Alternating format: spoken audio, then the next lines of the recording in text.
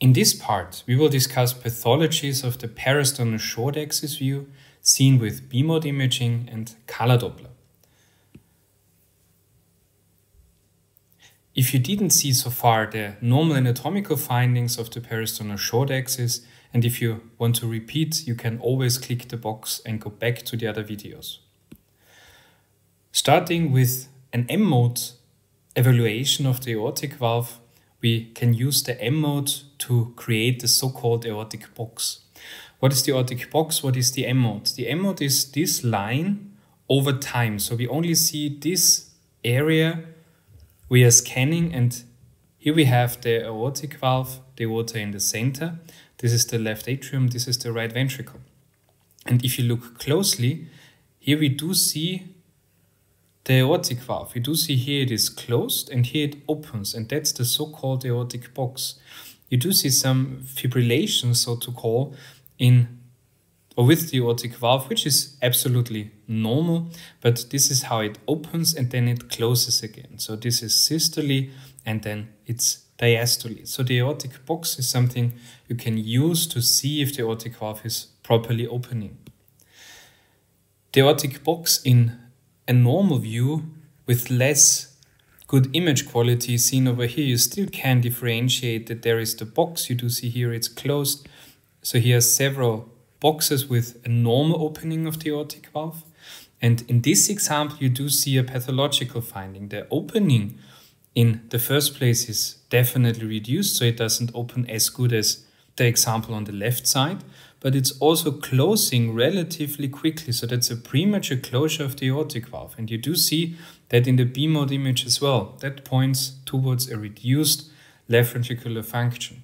You see this over time happening basically all the time. So the opening is reduced and the closure of the aortic valve is premature. Here you do not see that the leaflets are thickened, so this is not the aortic stenosis. You can see this in the B-mode image as well. So do not mix it up. We will take a look at aortic stenosis with M-mode soon.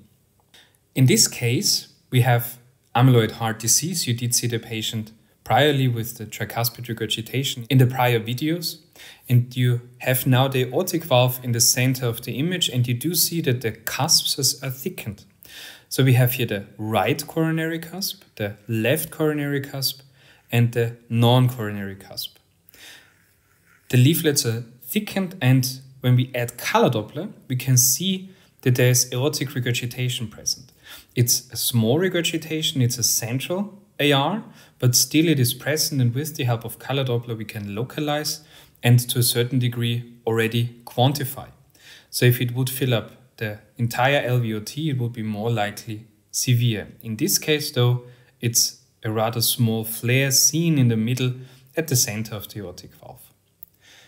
Moving on to tricuspid regurgitation, we can have the focused view on the tricuspid valve again. So this is the tricuspid valve and here we do see a more moderate to severe tricuspid regurgitation. Keep in mind, this is still not the optimal view. We do not see the origin, so probably it is severe, but we need another view to actually quantify TR.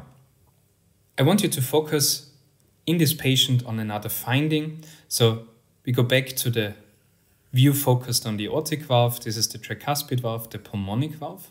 The RVOT, we do see that the atria are dilated, but focus here on the left atrial appendage. So that's the left atrium, that's the left atrial appendage, and it is rather prominent. So in this case, if there would be a large thrombus present, you could even see it in a parasternal approach. Keep in mind that still for excluding a thrombus, you need a TE study, of course, but you get the idea that with a prominent left atrial appendage, you can also perform measurements and a visual assessment if there is a thrombus present and seen already in a transthoracic approach. And already you can see if a thrombus is present from TTE. More to focus on the left atrial appendage, so this is a specifically focused view where you can see bigger parts of the left atrial appendage and you can use color Doppler where you see that blood flow is until the end where we can visualize. So in this case, there's probably no large thrombus present in the left atrial appendage. Simply keep that in mind if the left atrial appendage pops up, that you think about it and that you already can quantify to a certain extent. Now focusing on the pulmonary artery, in this case we do not have optimal image quality, but we do see that this is the pulmonic valve, that's the pulmonic trunk, the right and the left pulmonic artery where we do see here parts of the aorta. So this already is the ascending aorta. And with this specific view, we can perform certain measurements. We can, for example, measure the pulmonic trunk and the RVOT over here. In this case, it is definitely dilated. And we can use a pulsed wave Doppler to quantify the pulmonary acceleration time. So this time frame you can measure here and if it is below 60 milliseconds, it's definitely pathological and pointing towards elevated pulmonic pressures. And in this case, yes, the size does matter. If you have an enlarged pulmonic trunk, do not forget to mention it in your report.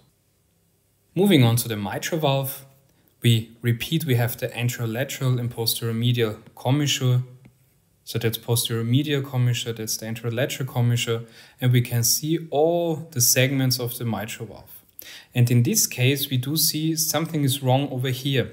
So this is a mitral clip. You have an echogenic structure in the area of A2 and P2. So this is most likely a mitral clip. You see that the opening of the mitral valve is reduced, but as you can see in the next loop, also MR is definitely not severe anymore. You see a rest of mitral regurgitation over here, but this patient was clipped because of a severe mitral regurgitation. Furthermore, when you perform a mitral clip procedure, of course, you have to pass the interatrial septum, and you do see that here is a small iatrogenic ASD, so an atrial septal defect. You can scan that in a parasternal short axis or in a parasternal short axis from a subcostal approach, which we will discuss in the lectures of the subcostal views. Here I have an M mode placed again with color M mode. So this is the small iatrogenic atrial septal defect. Furthermore, when we have a mitral clip and the problem of the mitral valve, we can evaluate it in the parasternal short axis, but also in the parasternal long axis view, where you do see the reduced opening of the mitral valve in this focused view. Furthermore, in this view, we do see a normal contraction of the inferior and lateral parts of the ventricle, but look at the septal parts. This is hypoechoic, it's thin, that's a scar. So this is a patient with coronary artery disease after a myocardial infarction where you see scarred tissue where there is no thickening and no function present. In this example, we have a parasternal view of the mitral valve again. We have the anterior and the posterior mitral valve leaflet. And in the B mode image, we already see that there is a problem with the P2 segment of the mitral valve. So in these views, you also can differentiate if there is a prolapse of the mitral valve or even a flayed leaflet present. We can see with the color Doppler information that there's probably eccentric mitral regurgitation, which is definitely not trivial. So in this case, we have to see the mitral valve from several views to actually quantify mitral regurgitation, but we already know from the parasternal approach that there is a structural problem of the mitral valve already seen. Moving on to the papillary muscles, this is a loop we have seen in the prior videos, where we see a thickened myocardium and thickened papillary muscles. So for LVH, this view can also be used to measure the extent of the interventricular septum and the posterior lateral wall. Furthermore, we do see the right ventricle, the tricuspid valve, and here even parts of the liver. Always keep in mind that this hyperechogenic line is the pericardium, so pericardial effusion, if it surrounds the left ventricle, can very nicely be seen in this view as well. Here's an example of a non-compaction cardiomyopathy, a very rare cardiomyopathy. This is the level of the mitral valve where you already see that the left ventricle is probably enlarged and that there is reduced function present. If we move the transducer, tilt the transducer to the level of the papillary muscles, we see the same. The ventricle is relatively thin and function is definitely reduced. But if we move towards the apex, we do see or we start seeing hypertrabeculation. So in this case, you can measure the trabeculated area, so the non-compacted myocardium, versus the compacted myocardium to visualize if there is truly non-compaction cardiomyopathy present. And you also can differentiate if there are four or more prominent trabecula present, which would be another hint towards the diagnosis of non-compaction cardiomyopathy. If you want to see a case of NCCMP, click the box in the video.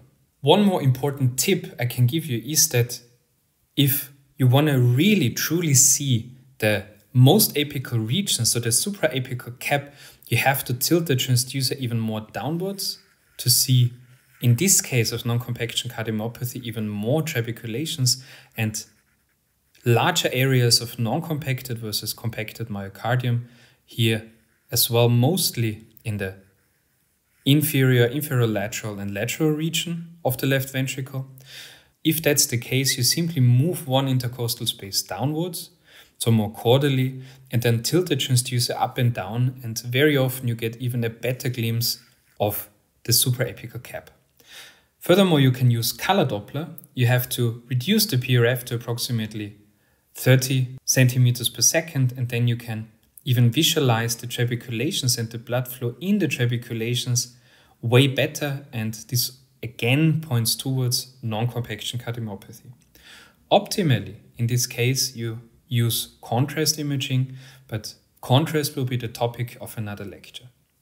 Now, this already concludes the first part of pathological findings in the parasternal short axis view. We did discuss the opening of the aortic valve, we did discuss non-compaction cardiomyopathy, and left ventricular function, we have seen regurgitations, mitral regurgitation, aortic regurgitation. In the next videos, we will focus even more on M-mode measurements and on aortic stenosis by means of scanning it in the parasternal short axis view, and we will continue with pulsed wave and continuous wave measurements.